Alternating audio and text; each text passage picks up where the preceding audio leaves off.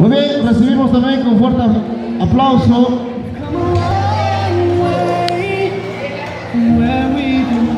Ya en el cuarto C, profe.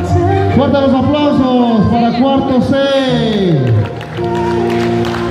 Y en esta oportunidad tenemos a una robot.